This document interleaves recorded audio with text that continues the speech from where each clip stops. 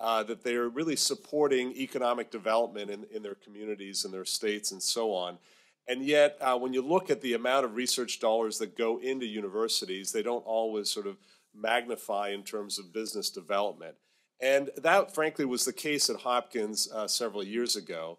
And uh, President Daniels uh, decided to bring in Christy um, to, to change that. And she is uh, the senior advisor to the president uh, to try to take um, the amazing amount of research and discovery that's happening here at Hopkins and uh, turn it into actual companies and licensing revenue and uh, strategic opportunities with companies. So that I said I wouldn't uh, give a long intro, but I did. So Christy, I'll turn it to you.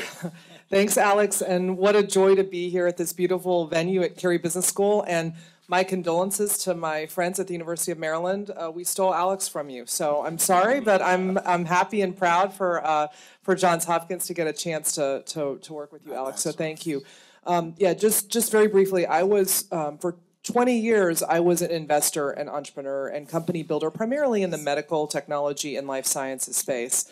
But I've really turned my attention in the last almost seven years now to doing exactly what Alex just described. Take the incredible research that's happening in and around our various campuses at Johns Hopkins, whether it's faculty or students, and take those ideas to market. And in any way possible that we can do that, bringing in venture capital dollars, and I'll just say one stat because I'm very proud of my team.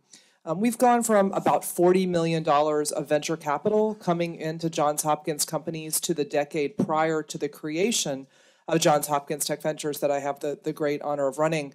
Um, to the past five years, our numbers average just north of 500 million. So from 40 million to 500 million, really with a dedicated focus on getting our faculty and students ready to talk to the venture and investment community, and then courting those those very investors. Wonderful, thank you, Christy. And by the way, we will have a fair bit of time for Q and A later. So as you um, listen, uh, please think through uh, some questions. So next up is uh, Jeff Cherry, who's the managing partner of Conscious Venture Lab and the CEO of Shift Ventures. So uh, Jeff, tell us a little bit about what you do. Thanks, Alex. Well, first of all, welcome, and uh, um, we're happy to have you here in Baltimore. Um, and uh, thanks for inviting me, and thanks to Tien as always for including me in this uh, amazing event. So um, I didn't start out as an investor. I'm an entrepreneur. Um, I started my first company, an architectural firm, in 1986. Um, so I'm a little older than uh, some of the other people in the venture space. Um, and uh, I built that company for 20 years, turned into a management consulting company. Um, sold that company because of a lot of things we saw happening in the world. I started a hedge fund after that, moved back to New York. I'm originally a New Yorker. Uh, ran a hedge fund for a few years.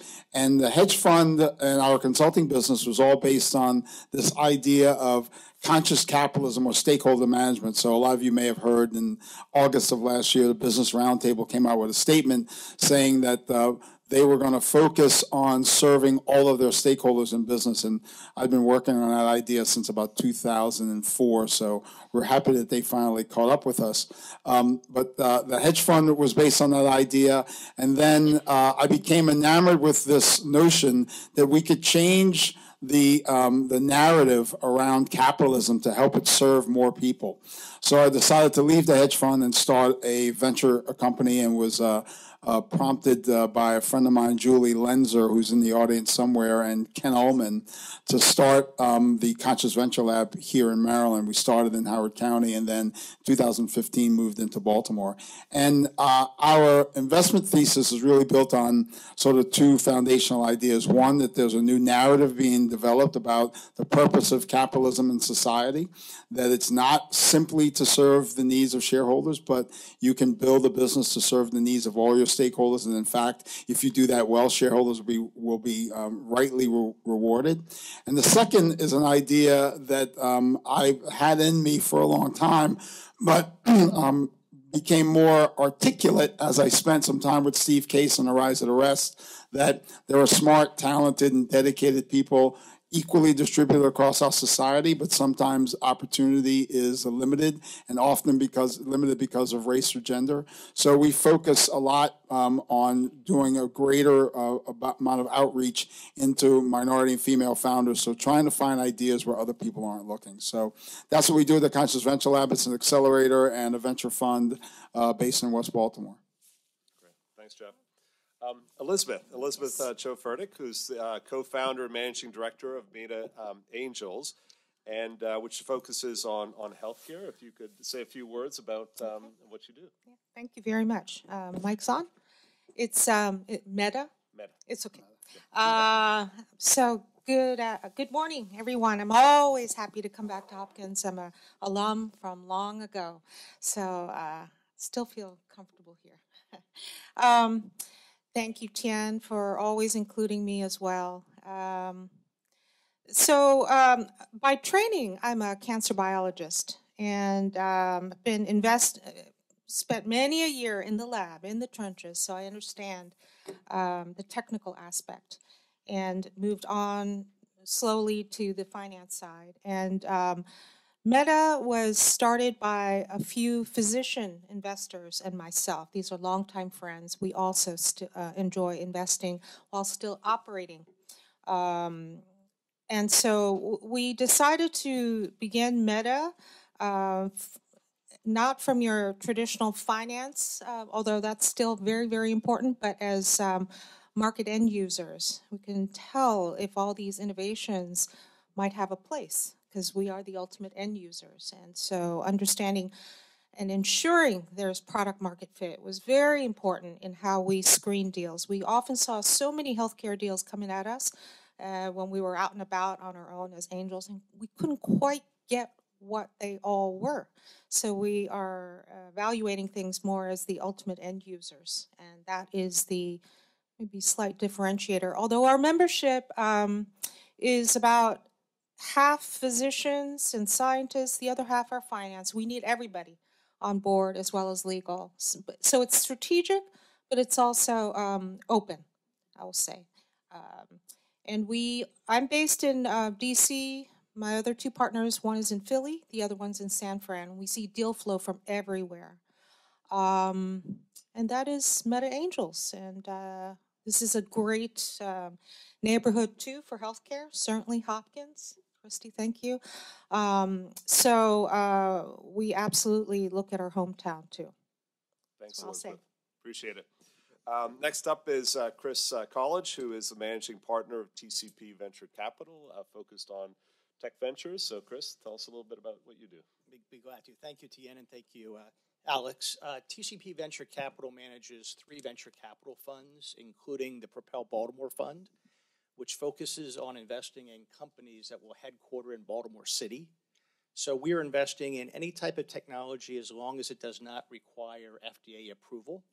We have uh, exactly what Elizabeth does. we don't Elizabeth compete. We're we don't compete. Um, we have uh, 16 portfolio companies in the city right now, which have raised over $250 million that came from other venture capital funds, not just us, uh, into Baltimore. Uh, those companies employ about 750 people here in Baltimore City, so we do think we've uh, created a lot of value and brought a lot of uh, technology uh, professionals into the ecosystem here in Baltimore. And that's us. Thank you. Great, excellent. Uh, thanks, Chris. And last but certainly not least, uh, Mike Avon, who's a partner at ABS uh, Capital Partners, um, which I did not know until few days ago. It uh, stands for Alex Brown and Sons. um, so, uh, Mike, tell us a little bit about what you do. Sure. Uh, well, thank you for having me here. Thank you, Tien, and thank you to the Carey School. Uh, it's uh, wonderful to be here today. Uh, so I'm a partner at ABS Capital. We are the ABS is Alex Brown and Sons. Um, so ABS Capital is based here in Baltimore. Uh, we've been around for 30 years. We're uh, celebrating our 30th anniversary as a fund uh, this year, and came out of the original Alex Brown. We were founded by the um, former CEO of Alex Brown back in, in 1990. So we have deep Baltimore roots.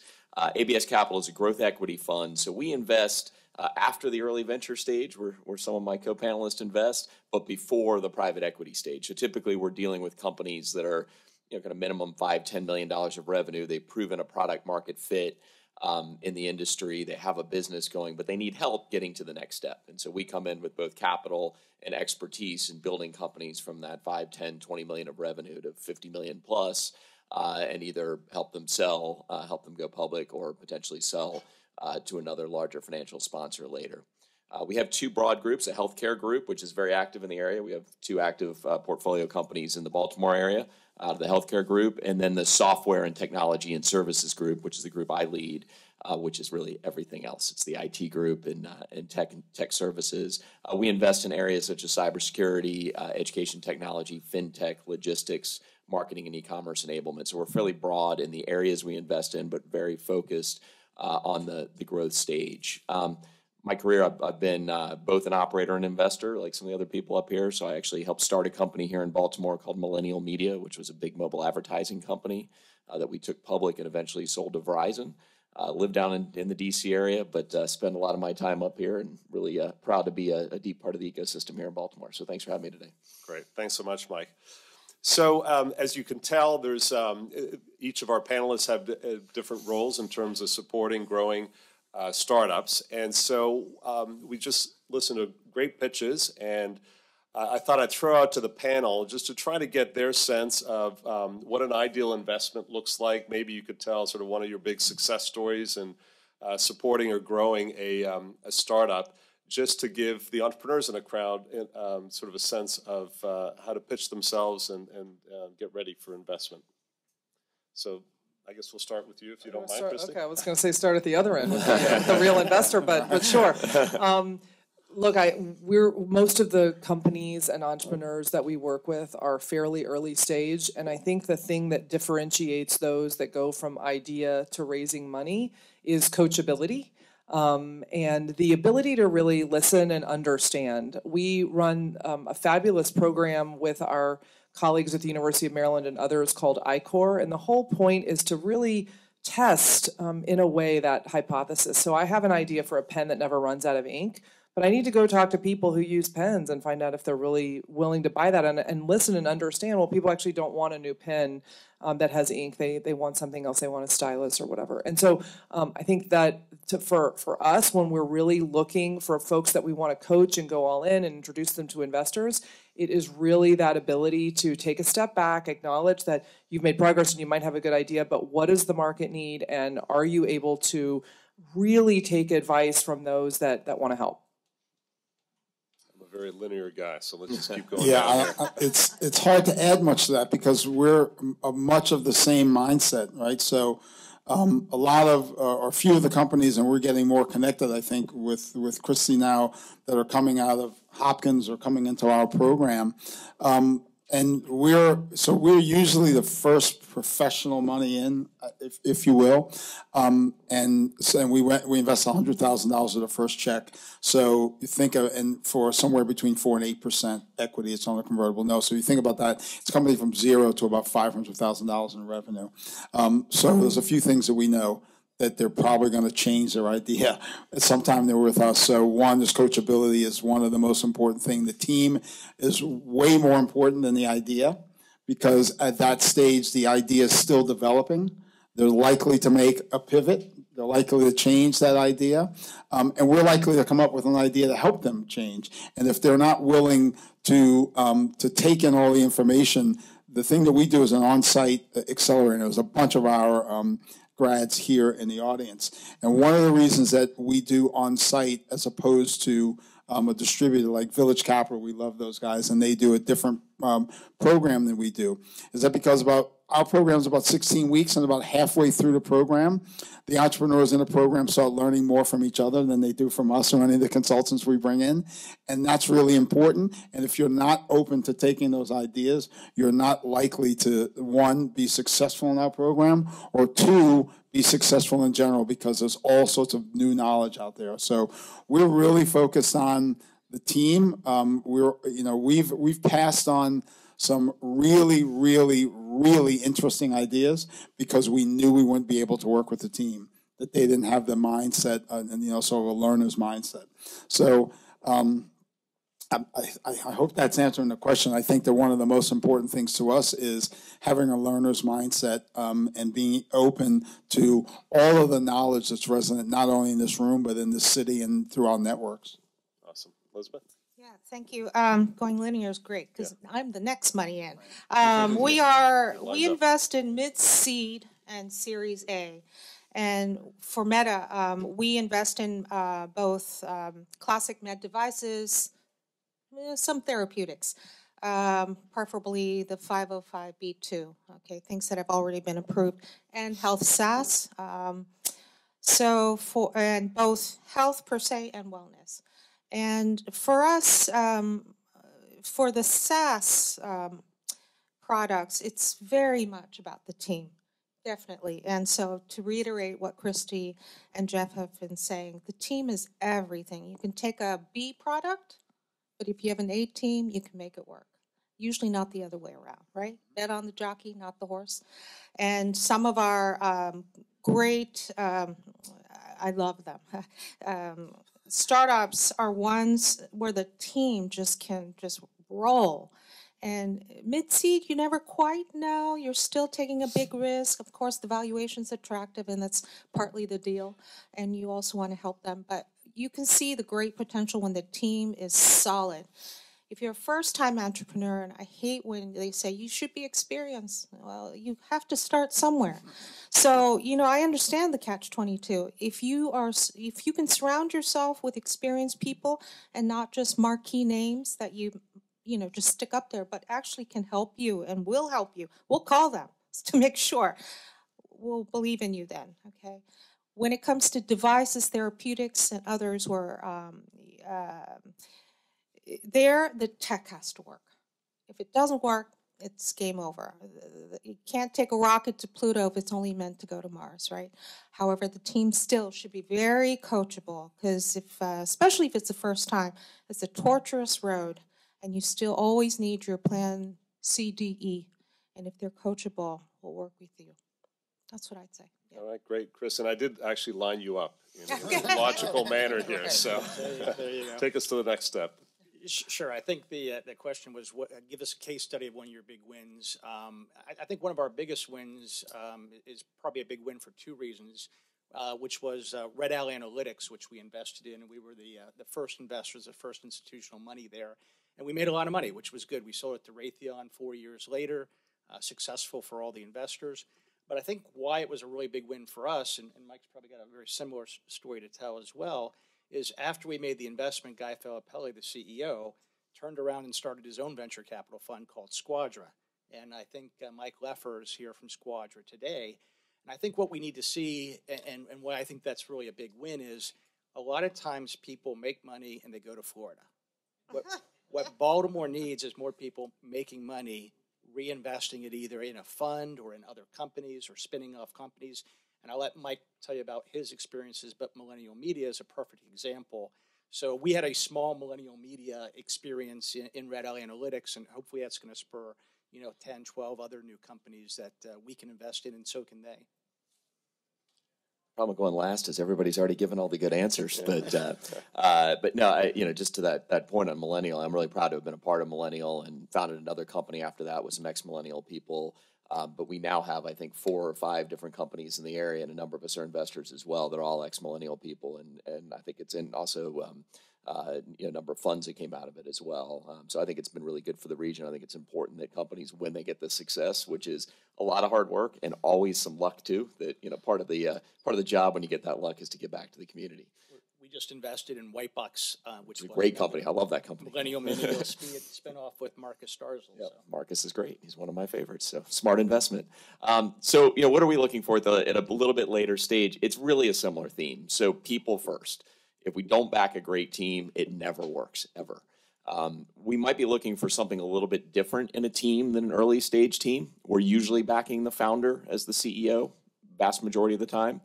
Um, but we're typically looking for somebody who has, you know, navigated those early stages, um, has built a defensible business model. Uh, honestly, even at this stage, the idea probably doesn't matter that much. The idea itself, it's really is there a defensible business model that you can now scale we are always looking for industries where we think there's a wave behind the industry. So, you know, we're picking areas and being a little bit later stage investor, we can do this where we think there's already a major market. That market's developing. It's a good time to jump in that in that space. Um, but we're really looking for teams that have shown signs that they can. Uh, you know, weave through all of the changes that might be happening in a fast developing space, build a defensible business model, and be coached. And we're typically where we're bringing our value is in that coaching. We find teams that have what we call deep domain expertise in their space, um, typically uh, have businesses that have developed a data set around that business that can be leveraged uh, Uh, as they try to scale their business. And that's some of the expertise we bring is to work with them closely to leverage the data they have to turn what might not look like data businesses into data businesses, which is how we, we think we drive the most value. And we want to back people that are open to that kind of advice. So we might be coming in and saying, we know very little about your specific market that you're in. We're backing you because you're the expert and you've shown expertise and ability to build a business in this space. But we know a lot about how to take a business from 10 or 20 million dollars of revenue to 50 to 100. You know, trust us and follow us. We'll work with you. We'll work shoulder to shoulder with you. But be open minded about the types of people you need to add to your management team, changes you might need to make to your management uh, style uh, as you scale your team uh, and help that you can bring in from the outside, not just us, but outside uh, board members, advisors, and others. Um, but ultimately, I think all along the stage of investing, it comes down to backing the right people, the right people who will who who uh, are you know have that right kind of entrepreneurial spirit, and they have to be very smart, but they also be smart enough to know that nobody knows everything. You need help, and people that are accepting of help, they'll kind of stick to their their knitting, but will accept help and coaching along the way. Uh, and you know, we find that that is the uh, more often than not the difference between success and failure. Great. Well, thanks, Mike. And now I'm going to start on that end, so you got to pay attention. You're attention. giving me a hard question now. I'm Yeah, sure. exactly. uh, we'll re- reverse the order. So, so Chris and Mike, you as well talked a little bit about um, Baltimore. So, I want to actually do a deeper dive into um, the Baltimore uh, ecosystem here. Um, talk about maybe the, the strengths that we can leverage here in Baltimore, maybe some of the shortcomings we can address, and um, I thought maybe the best way to pitch this question is we're we're in a mayoral race right now. So, what advice would you give uh, to the next mayor in terms of um, fostering entrepreneurial growth here? Wow, you're going to start with a guy who lives in Northern Virginia too. Yeah, That's yeah, that's yeah. interesting. Um, so I'm going to tell you, I, I this is not not always popular in Baltimore, so I'm sorry, but I, I I feel strongly about it. I always take a regional approach. I think that you know all of us here, whether DC, Maryland, Virginia, Baltimore, et cetera, you know, need to stop. Uh, there's some good, healthy competition, but I think overall we have to look at ourselves as an amazing region here. And when you look at the greater Baltimore, Washington area, you're talking about a region with almost 10 million people. We might have crossed that now. Um, fourth largest metro area on a combined basis in the country. Amazing education, certainly Hopkins uh, being one of those, but amazing, amazingly educated population around here. Um, the benefits of the federal government uh, certainly defense, NSA up this way, healthcare, et cetera. Um, some ca- venture capital here. You have people sitting here. We probably don't have enough infrastructure here yet, but certainly uh, drawing interest from outside capital. So there is access to capital here. We can make this better, and all, all of us up here are trying to do that. Uh, and an amazing market. So a you know relatively affluent market through the region um, a diverse market through the region, so a great market to sell to, both on the business side and the consumer side. So, you know, if we think about this as a great region, then I think, you know, I would, my, my advice to the, the new mayor of Baltimore would be, you know, thinking about where is your place, where is, where's your leverage in this great region? Um, having invested in Baltimore, spent some time living in Baltimore, and both built companies um, and, and, and been involved in a venture fund here you know, you have uh, an amazing uh, infrastructure for healthcare around here. Certainly, a lot of that coming out of Hopkins. Uh, we've invested in several healthcare IT related companies here that have been big fit, big hits for us. I think reinvesting in uh, as a city um, in both in in, uh, in in Hopkins, but in the infrastructure to build up uh, healthcare related companies around here is great. It's certainly a great need in the country, and I think there's a competitive advantage here in Baltimore. I think there's actually some really interesting logistics businesses around here, uh, leveraging e-commerce in particular. And Marcus Startzel's company is, is one of those. Um, Marcus worked for me at Millennial and is one of my favorites. I've backed another one of his companies.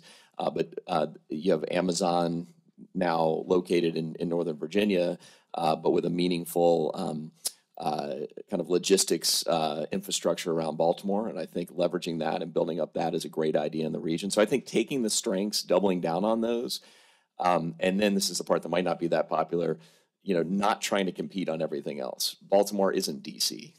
Baltimore isn't San Francisco. Baltimore isn't New York. And that's great. Baltimore is its own town, its own city. It has its own strengths and weaknesses. And I think, you know, thinking about where the real strengths are here and doubling down on those versus trying to be something it's not uh, is the best um, is the best advice. My saying. When I'll add one more. I'm sorry, I'm talking a lot on this. It's something I'm passionate about. definitely, you know, we need to continue to invest in physical infrastructure and, you know, particularly transportation. Driving up here from Northern Virginia is a disaster.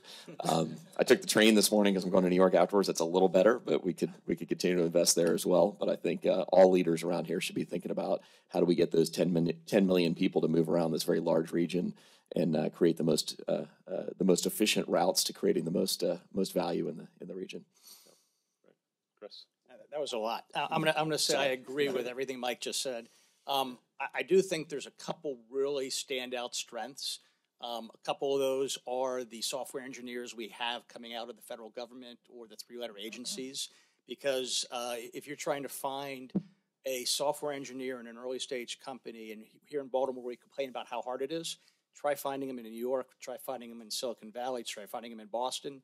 It's much easier here. We have much higher supply. We also have a lot of great infrastructure in cyber here, uh, and then also healthcare. So health, those three areas, I think we stand out and can make a, a real claim that we're unique in the entire United States for all three of those. Um, that said, I think there are uh, a couple struggles or a couple things, and I'll be very blunt. Um, the things that we do in Baltimore is we are we have an inferiority complex to start with. We always talk about the negatives, so I even hesitate to say it. But if I were looking at the new mayor, and I'd say the first thing you need to f- focus on is crime. I mean, I spend a lot of my time trying to recruit companies for our one fund, the Propel Baltimore Fund, to Baltimore. In the last year or two, it's become harder because of the crime situation in Baltimore.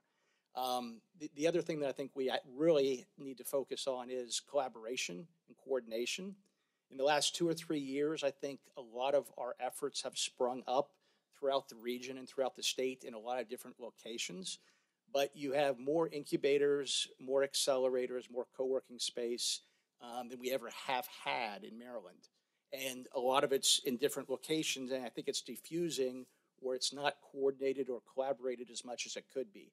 And I think that would help the, uh, the region out as well. And I'll leave some more for Elizabeth since I don't want to take it all. Yeah. So the question was, uh, what we could potentially pitch to the mayor uh, to bring entrepreneurship here or capital? What, what was it exactly? Exactly, yeah. So how do we Entrepreneur. leverage the strengths and Oh. address weaknesses in the area? Yeah, um, so I'm a little biased because I'm from DC, although I've lived here too. Um, I I think you much better marketing is needed uh, by the corporations that are here, uh, even Hopkins. Uh, do more. Um, uh, need to get out more. You know, you see the great uh, universities out west, like your Stanford. They leverage their partnerships with great companies uh, doing more of that and marketing uh, your what is it under armour and other great success stories here i don't hear that just down you know 95 i don't hear it and you should i i think that would be one way because unfortunately yeah the press will you know hunker down on the negative um, and i think uh, it'll take time. It's not going to happen just like that but in order to attract talent have people want to live here you need to jazz them up. Of course tax credits and all that but you need to get them really excited about the city to want to move here and live here i think. So with regards to marketing, I hope you're all using social media right now with our banners here and Baltimore in the background, so thank you. Jeff? So um, this is a real pet peeve of mine. So if you if you went through the conscious venture lab, you want to leave now because you've heard this a thousand times. You guys can get up and go. Um, I'm I moved here from New York City, so, and I lived in DC for 30 years. So I've got a, a pretty good view of all of this. So let me ask a question: How many people in the room think that if um, if next year there were 100,000 new jobs in Baltimore, that would be a good thing for the city? You think that, raise your hand. Okay. How many people know where new jobs come from? Startups. Startups. New jobs come from startups. Steve Case always says, you don't have to care about startups. I know the second time I'm bringing his name up, but he says a lot of good things. You don't have to care about startups. You only have to care about startups if you care about the economic uh, prospects of your city. You don't have to, but if you care about that, you probably should.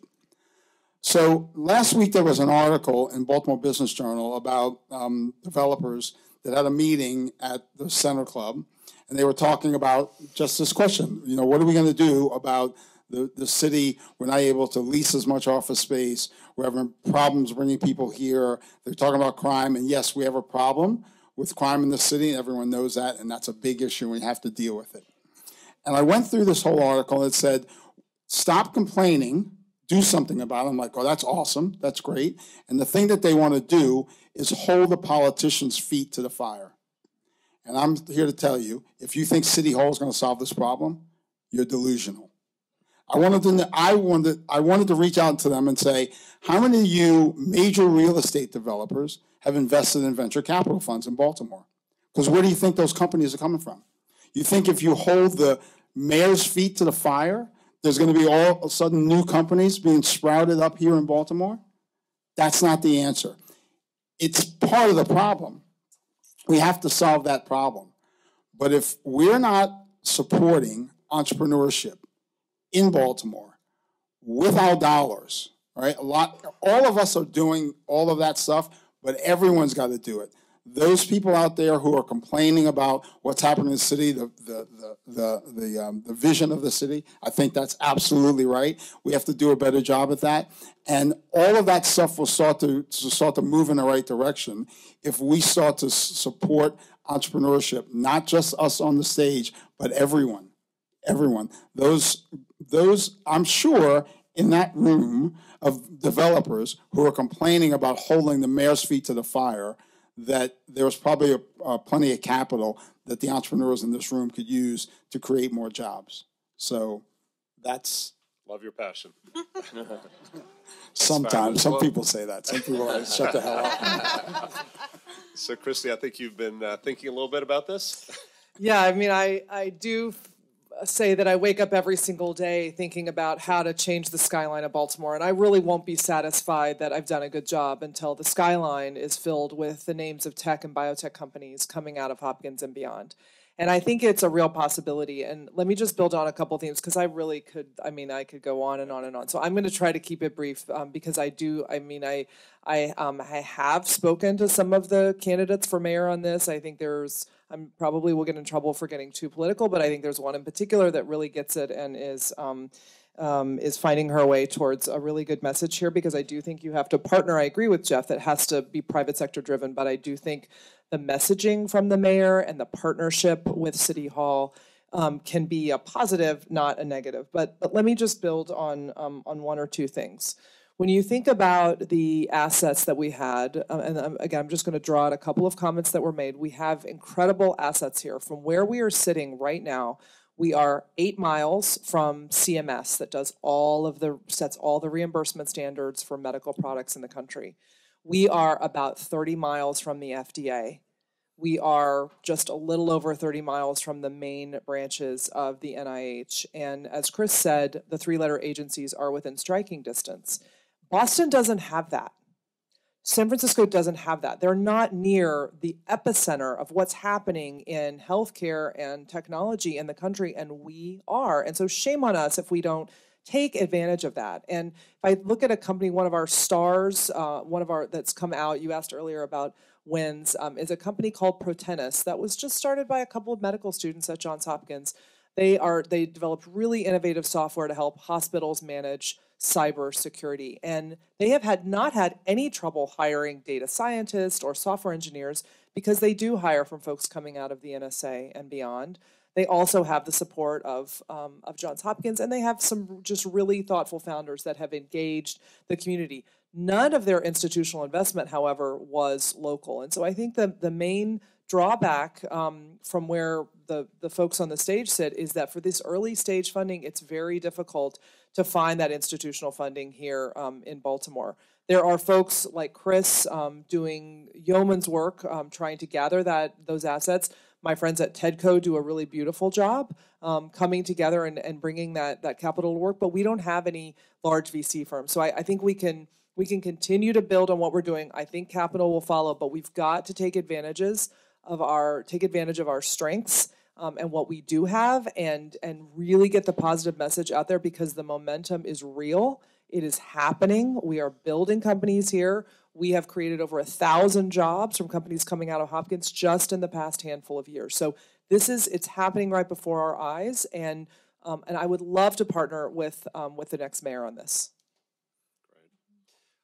More passion, which is fabulous. Um, so I believe we only have a few minutes for questions, but I did, as promised, wanted to open it up uh, to any questions from the crowd. Yes. Uh, just one second um, to make sure that everybody can hear. Thank you. You you all were talking about the importance of teams, mostly founders, executive teams, and so on. Can you also tell us about the role of board of directors, or maybe advisory boards, or with early stage companies and later board of directors?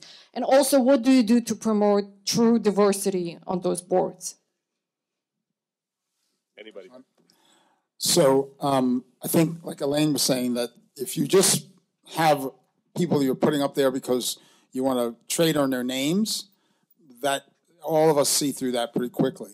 So I think it really matters that the that if you have if you're if you're trying to leverage a board of directors that they, at the early stage anyway that they're going to have to um, have some um, some skin in the game, and that doesn't mean money. It means they have to be really out there helping you do what you what you do. So I think we don't focus a lot on boards unless someone can tell us specifically why someone is on their board. We have a, an entrepreneur in the audience, Jenny, who's got a great advisory team, but the advisory team is specific to what she does, and they help her move that forward. So um, that's I think the most important thing from the board standpoint.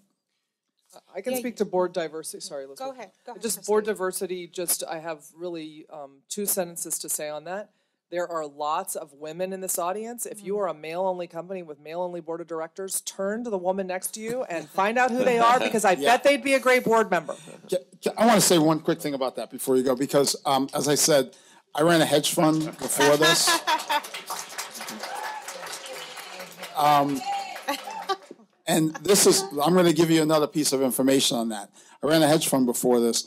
Two knuckleheads that didn't know anything about Wall Street. We raised $700 million um, investing in what we thought were conscious companies. And about three years into that, we started a new portfolio. It was called the diversity portfolio because we had done the research. And what we found that there was really only one thing in terms of diversity that made a difference in terms of um, uh, uh, eliminating fin- financial fraud and outperforming the market. That was how many women you had in senior positions and on the board. That's the only thing that mattered.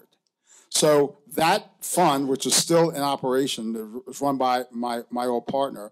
He says, it's so crazy, Jeff. I'm like, what? He goes, we can't sell it. I'm like, why can't you sell it? He says, because people don't believe the numbers. They think we're cooking the books. That's how good it is. So take a look next to you if there's a woman, put her on your board.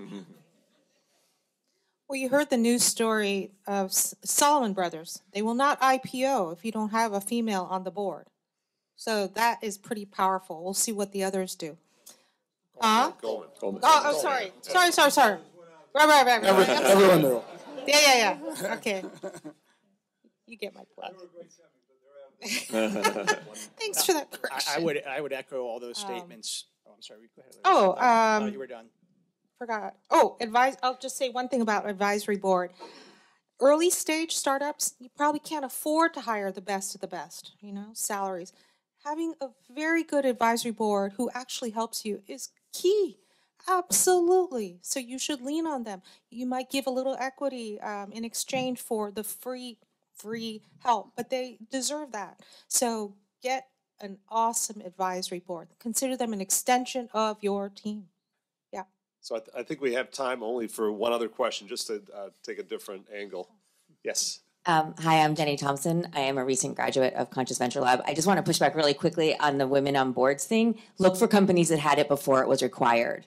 Because, like all the California companies that have to have a woman on the board now, look at the people who were doing it before because they knew it was a smart business decision. Anyway, um, Good point. and so, Jeff, I'm going to throw you a little bit of a of a softball here. But um, Elizabeth, when you were talking about marketing Baltimore and, and doing good marketing, marketing is my DNA. I always joke like I'm never going to do my 23andMe because it's just going to come back marketer. um, and then I'll find out I'm related to all these crazy people. But I think the uh, one of the other things is the weight of the wire. Like if you live in Baltimore and you go anywhere in the world still today, and you tell people you're from Baltimore, the first thing they say is the wire. And so I think talking, I know you have like the unwire idea, but I think looking at how do you how do we embrace it we can't just say like yeah that's not baltimore it is and and it is it people's impression so how do we embrace it build off it change it change the conversation around it bring in positive images that people have seen in the media etc